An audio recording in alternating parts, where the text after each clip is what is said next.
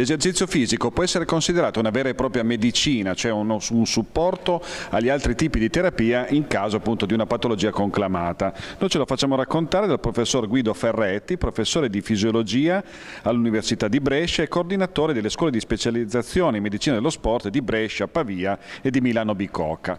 Allora professore, come andrebbe prescritto l'esercizio fisico appunto a un paziente che soffre di una qualche patologia? Cioè su quali elementi ci si dovrebbe basare? Ma fondamentalmente su uno, eh, che è l'esecuzione di una valutazione funzionale correttamente eseguita, che comporta un test da sforzo eh, eseguito secondo i criteri diciamo ormai canonici con la valutazione cardiovascolare.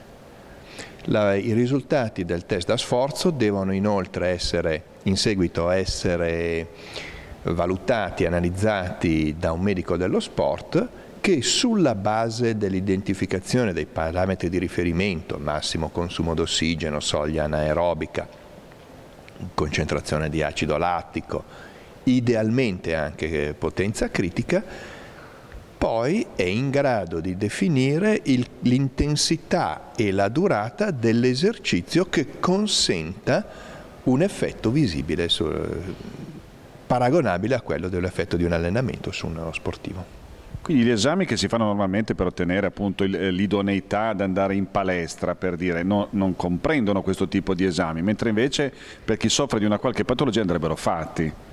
Certo, eh, l'idoneità per medico sportiva però ha un altro scopo, che è quello di accertare l'esistenza di patologie in atto che precludano alla pratica sportiva, mentre qui si tratta di definire i criteri e i parametri con cui eseguire degli esercizi a scopo di allenamento in pazienti sofferenti di malattia. Sono due scopi diversi.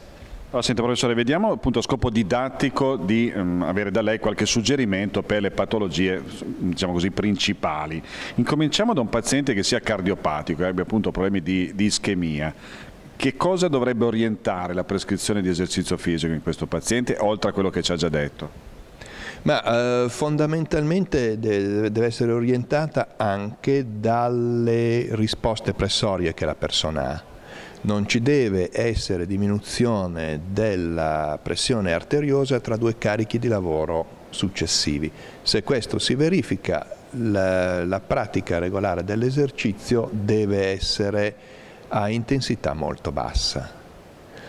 Eh, naturalmente questi sono i casi più gravi in prevenzione terziaria che vabbè, insomma, non si può immaginare un esercizio in questi pazienti effettuato come potrebbe essere in, prevenzione di un incidente cardiovascolare, di un iperteso è una situazione, è una situazione differente eh, effettivamente, però bisogna stare molto attenti alle risposte personali dell'esercizio. Bene, passiamo alla broncopneumopatia cronico costruttiva, affligge milioni di italiani, cosa dovrebbero fare questi pazienti? Che cosa si deve tener conto?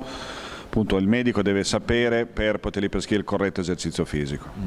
Ma qui il problema è diverso, nel senso che l'esercizio fisico non serve per quanto riguarda lo stato patologico in sé, ma siccome in questi pazienti si ha un deterioramento muscolare perché hanno una sedentarizzazione estremamente spinta, l'esercizio serve a recuperare quel tanto di funzionalità muscolare che permetta una vita un po' più attiva e, e quindi l'esercizio va prescritto a dosi relativamente basse però molto continuative.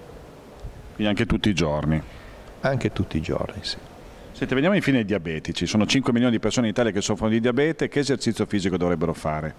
Beh, il diabetico dovrebbe fare un esercizio fisico allenante.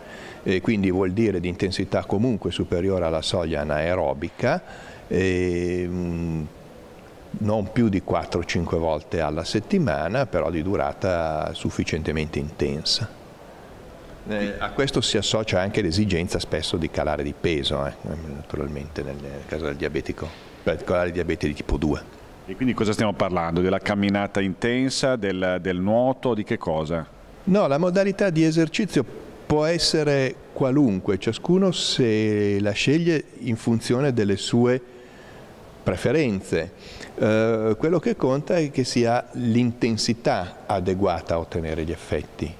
Dopodiché uno, se uno preferisce nuotare lo può ottenere col nuoto, se uno preferisce camminare lo può ottenere con la marcia a velocità intensa in questi casi, può anche ottenerlo con la, con la bicicletta. Quello che conta è l'intensità e la durata. E la frequenza cardiaca in che limiti dovrebbe rimanere?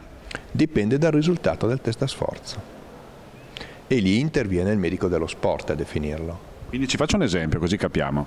Faccio un esempio, mettiamo uno fa un test da sforzo, viene fuori che ha una frequenza cardiaca massima a diciamo 180 battiti al minuto e una frequenza alla cosiddetta soglia anaerobica di 140 battiti al minuto, beh in questo caso l'esercizio dovrebbe collocarsi a una frequenza tra i 150 e i 160. Adesso tra l'altro ci sono tutta una serie di, di, aggeggi che si possono indossare che consentono di avere un monitoraggio costante no? di questi parametri. Certamente, eh, questo potrebbe essere una cosa utile portare durante gli esercizi.